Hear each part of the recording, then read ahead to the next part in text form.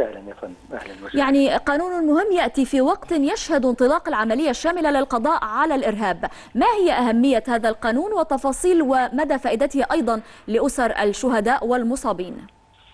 اولا بسم الله الرحمن الرحيم. يعني إذا ما تحدثنا عن حقوق الشهداء والمصابين وذويهم في مختلف المجالات سواء كان هذا الشهيد أو المصاب ينتمي إلى القوات المسلحة أو إلى الداخلية أو مواطن مصري يعني كما قلت في الجلسة لا يمكن بحال من الأحوال أن كنوز الدنيا تساوي قطرة دم واحدة من الشهيد ولا يمكن كنوز الدنيا أن تعوض زوجة فقدت زوجها أو بنت أو ولد فقد أبوه إنما القانون محاولة لتضميد الجراح ومحاولة لمساندة أسر الشهداء وأسر المصابين اجتماعيا وصحيا وثقافيا في كافة المجالات. تلك هي فلسفة القانون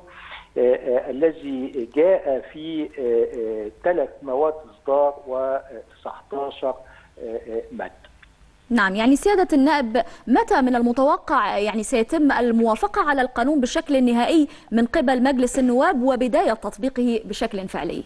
اليوم اليوم يعني ناقش المجلس مواد القانون من حيث المبدأ ثم انتقلنا لمناقشة مواد القانون مادة مادة ووافق عليها المجلس ثم الإجراء القانوني أن يتم عرض هذا القانون على مجلس الدولة إذا كان هناك أي ملاحظة ويعاد للمجلس للنظر فيه ثم يعرض على الجلسة العامة للحصول على الموافقة النهائية. نعم.